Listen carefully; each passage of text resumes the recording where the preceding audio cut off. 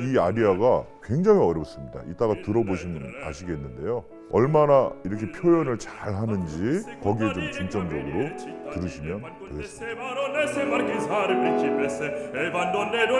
그 고음을 뭐가 만들었냐? 그 전음. 그럼 그 전음은 뭐가 만들었냐? 또그 전음. 그래서 첫음이 제일 중요해요.